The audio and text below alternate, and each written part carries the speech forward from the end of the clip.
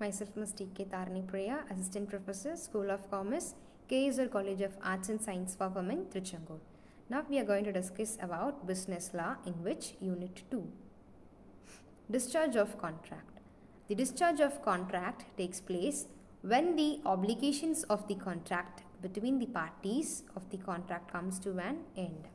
This also ends the legal validity of the contract. The discharge of the contract is also referred to as the termination of the contract. In addition to that, a contract can be discharged by six other ways. The following are the six other ways by which a contract can be discharged.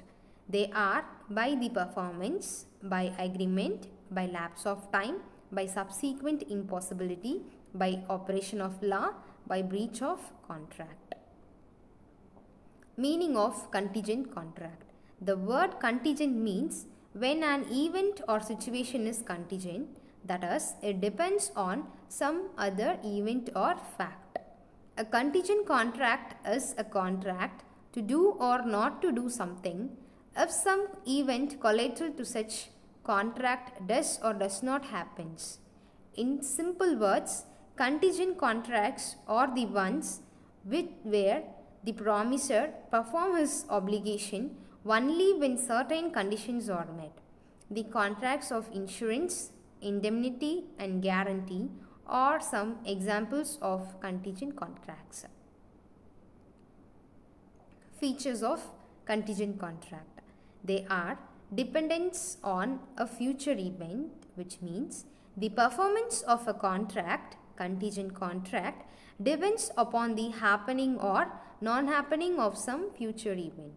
Collateral event which means the event must be collateral to the contract. Uncertain events which means the event must be uncertain. Contingent contract, their kinds. The happening of a future uncertain event, section 32. The non-happening of an uncertain future event, section 33. The future conduct of a living person or event to be deemed impossible, section 34. The happening of an event within fixed time, section 35, first para.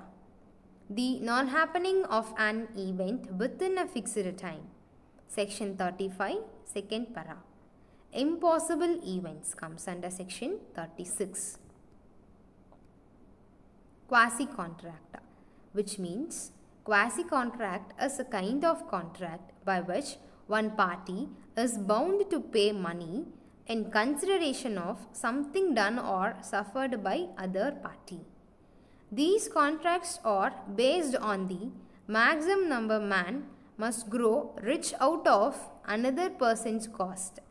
This contract is to prevent unjust enrichment or benefit that is, no one should grow rich out of another person's loss.